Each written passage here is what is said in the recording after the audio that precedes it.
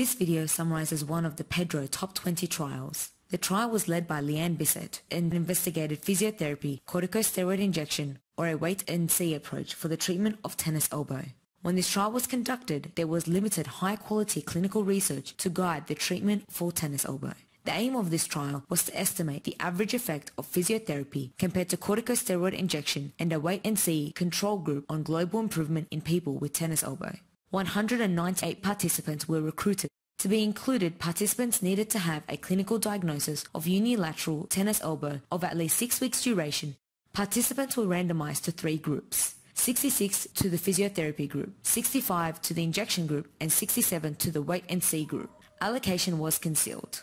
All groups were given an information booklet that outlined tennis elbow and gave practical advice on self-management. Participants in the physiotherapy group received eight 30-minute treatments over six weeks. Mobilization with movement and therapeutic exercise was administered and taught in the clinic, then implemented as a home program. Participants in the injection group received an injection containing 1 milliliter of 1% lidocaine with 10 milligrams of triamcinolone acetonide to the painful elbow. They were advised to return gradually to normal activities. A second injection could be administered after two weeks.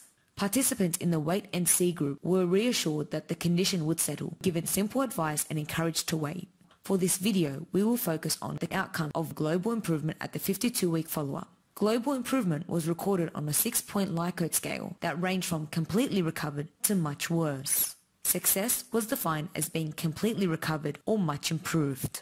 At 52 weeks, 94% of participants in the physiotherapy group were classified as a success compared to 68% for the injection group and 90% for the wait and see group. Participants in the injection group were 28% less likely to be classified as a treatment success than those in the physiotherapy group, with a 95% confidence interval of 13 to 40%. Participants in the injection group were 25% less likely to be a success than those in the wait and see group, with a 95% confidence interval of 10 to 38%. Participants in the physiotherapy group were 4% more likely to be a success than those in the wait and see group, but this estimate is not as precise because the 95% confidence interval ranged from wait and see being 7% more likely to be successful to the physiotherapy group being 15% more likely of being successful.